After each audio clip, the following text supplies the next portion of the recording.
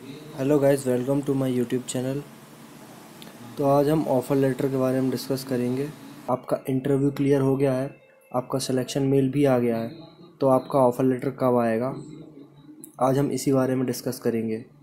हो सकता है कि आप बहुत समय से वेट कर रहे हों और कितने दिन में आपका ऑफ़र लेटर आपके पास आ सकता है, इस वीडियो में हम वही डिस्कस करने वाले हैं।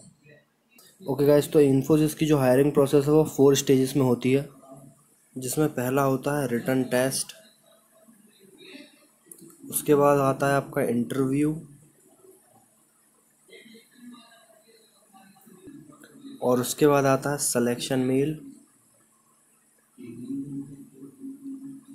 और लास्ट में आपका आता है ऑफ़र लेटर। तो अगर आपकी फ़र्स्ट स्टेज क्लियर हो जाए तो जब आपकी फ़र्स्ट स्टेज जो कि टेस्ट अगर क्लियर हो जाएगा तो आपको एक इन्फोसिस की तरफ़ से मेल आएगा। और ये मेल एक वीक से दो वीक के बीच में आ सकता है। मतलब विद इन फिफ्टीन डेज़ ये मेल आ सकता है आपको। ये भी हो सकता है कि ये मेल जल्दी आ जाए कई लोगों को। ये हो सकता है ये मेल शायद थोड़ा डिले हो जाए, पर ये मेल आएगा कि आपका टेस्ट फ़र्स्ट जो लेवल है वो क्लियर हो गया है।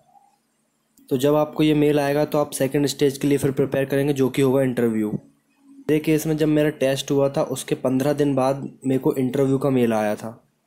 सो जो नेक्स्ट स्टेप है, जो कि इंटरव्यू अगर वो आपका क्लियर हो गया तो आपको सिलेक्शन मेल आएगा. सो लगभग सिलेक्शन मेल लगभग एक महीने तक ले सकता है सिलेक्शन मेल आने में. हो सकता है कि आपके केस में ये पहले ही आ जाए, और हो सकता है कि आपको थोड़ा डिले हो जाए, पर लगभग एक महीने के टाइम में ही सिलेक्शन मेल आ जाता है।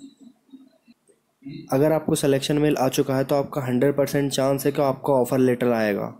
तो अगर आपको सिलेक्शन मेल आया है तो ये भी हो सकता है कि विथ इन अ मंथ आपको ऑफ़र लेटर मिल जाए या थोड़ा टाइम लग जाए ऑफ़र लेटर में maybe forty five days पर अगर आपको सिलेक्शन मेल आया है तो आपको ऑफ़र लेटर हंड्रेड परसेंट आएगा। सो so, मुझे लगभग एक महीने बाद सिलेक्शन मेल मिलने के बाद एक महीने बाद मेरे को ऑफ़र लेटर भी आ गया था। Okay guys that's it for today. Thank you